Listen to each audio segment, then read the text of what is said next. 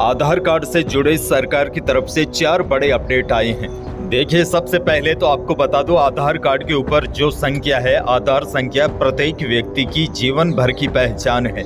आधार संख्या से आपको बैंकिंग, मोबाइल फ़ोन कनेक्शन और सरकारी व गैर सरकारी सेवाओं की सुविधाएँ प्राप्त करने में सुविधा होगी। बड़ी अपडेट ये है यूआईडीएआई की ओर से आधार कार्ड बनाने वाली प्राइवेट कंपनियों को जन्म तिथि और जन्म तिथि में सुधार करने के लिए नए नियम जारी किए हैं। अब देखिए, सबसे पहले तो आपको बता दूँ, अब बिना जन्म प्रमाण पत्र और हाई स्कूल सर्टिफिकेट के कोई भी व्यक्ति आधार कार्ड में किसी भी व्यक्ति की जन्म तिथि में सुधार नहीं कर सकता है।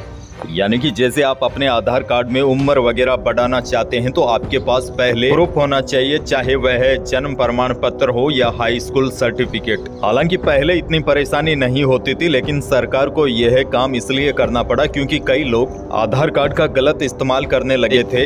युवा लोग, बुज़ुर्ग, पेंशन उठा रहे थे और छोटी उम्र की लड़कियाँ विधवा पेंशन उठा रही थी। अच्छा दूसरी बड़ी अपडेट ये देखिए, भारत सरकार ने राशन कार्ड की ई के आधार कार्ड से करवाने की आखिरी तारीख 30 सितंबर 2024 तय कर दी है।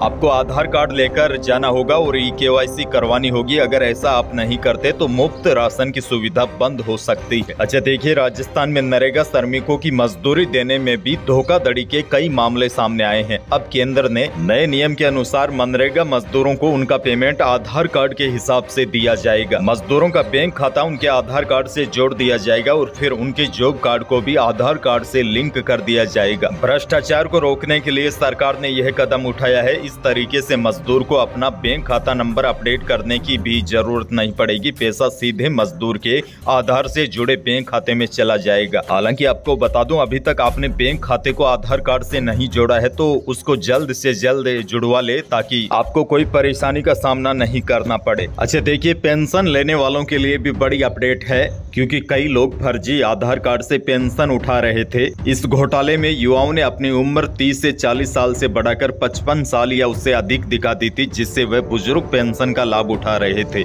लेकिन अब यह मामला पकड़ा गया है और आधार कार्ड से ई के करवाई जा रही है, ताकि फर्जी लोगों की और सूची निकाली जा सके। दरअसल, प्रदेश में अभी तक सात लाख लोगों ने ई के नहीं कराई है, जिनमें गड़बड़ी होने की संभावना हो सकती है।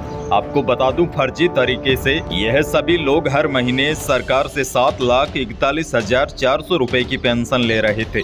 यानी पिछले पाँच सालों में यह पेंशन धारी कुल चार पॉइंट चौवालीस करोड़ रुपए। फर्जी तरीके से उठा लिए। सच बताऊँ तो पहले राजनेता भ्रष्ट होते थे, लेकिन अब आम जनता भी भ्रष्ट होना शुरू हो गई है। अब देखिए, सरकार ने कितना आसान काम कर दिया। जैसे पीएम किसान योजना की राशि सीधे लाभार्थी के खाते में आ जाती है, कोई भी बिचौलिया नहीं होता। यदि यही राशि अगर आज से दस या पंद्रह साल पहले आती तो आपको बहुत कम फ़ायदा मिलता। यह पैसे बीच में खा लिए जाते लेकिन अब ऐसा नहीं होता। सीधे लाभार्थियों के खातों में पैसे आते हैं लेकिन चिंताजनक बात यह है अब इसमें भी कई लोगों ने सरकारी कर्मचारियों सरकारी अफसरों और मित्र वालों से मिलकर फर्जीवाड़ा का तरीका ढूंढ लिया है। इसीलिए सरकार आधार कार्ड से हर जगह सत्यापन करवा रही है ताकि फर्जी लोगों को बाहर निकाला जा सके। वहीं सरकार ने कई मौके भी दिए हैं। सरकार ने कहा है कि अगर लोग फर्जी तरीके से लाभ उठा रहे हैं वह अपने आप निकलते हैं तो ठीक ठीक है, वरना फिर कार्रवाई होगी और वसूली होगी।